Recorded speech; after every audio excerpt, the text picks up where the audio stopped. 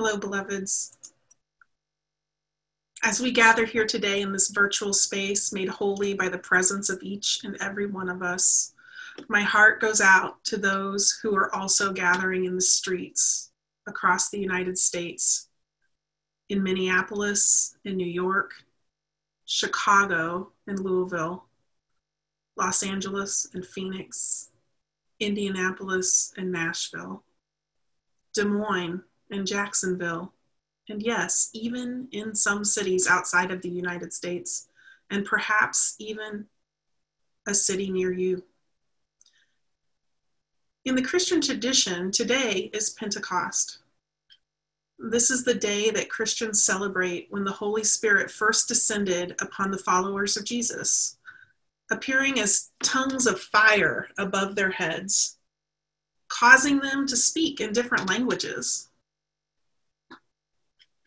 as we consider that in some cities there are fires burning even as we speak across the US and countries around the world, and in the sacred altars we have created here in our homes and in our hearts.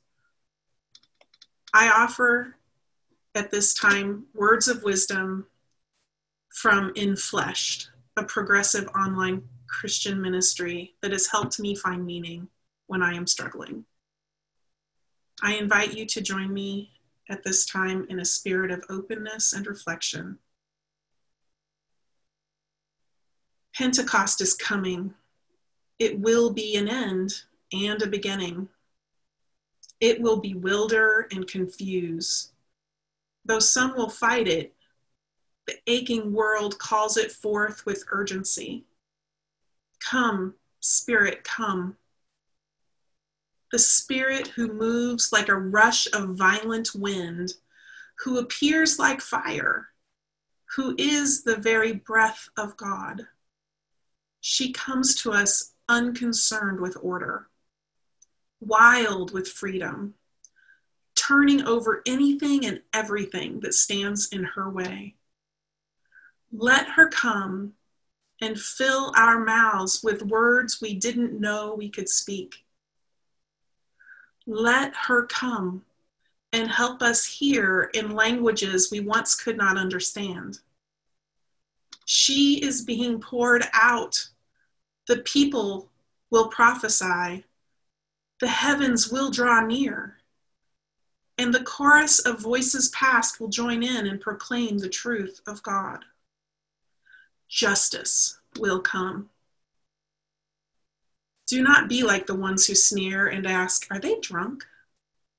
Do not be surprised by what's happening as if the scriptures and history and the prophets have not foretold.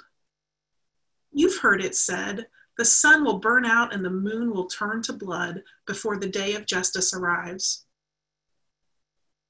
Instead, open your hearts and pray that God's grace may carry you into the kingdom. Let courage rise up. Let passion inflame. Let love transform. Let weeping fill the land. There will be no peace until there is justice. No healing until wrongs are made right. Come, Spirit, come, and turn the world of evil upside down. Amen. And blessed be. So be it.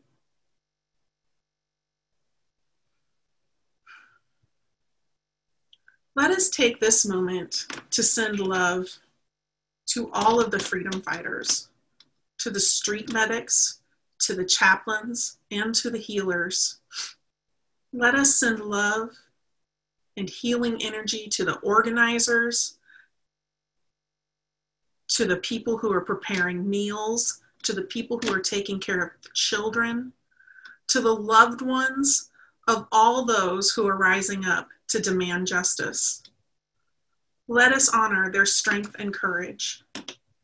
They are putting their bodies on the line to bring a lasting change, to uncover that which was hidden, and to turn this world around.